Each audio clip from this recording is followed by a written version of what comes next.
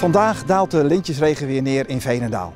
Zometeen mag ik hier in Theater Lampengiet 17 Veenendalers onderscheiden voor hun grote inzet voor onze samenleving.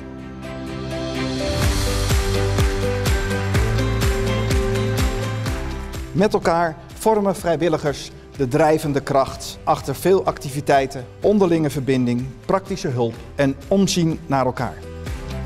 En het is daarom ook voor mij een grote eer u te mogen mededelen dat het Zijne Majesteit heeft behaagd om, u te benoemen tot lid in de Orde van Oranje Nassau. En u te benoemen tot ridder in de Orde van Oranje Nassau.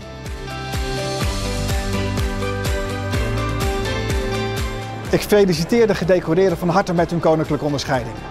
Weet jij ook iemand die een lintje verdient? Kijk op velendaal.nl slash lintje en draag hen voor.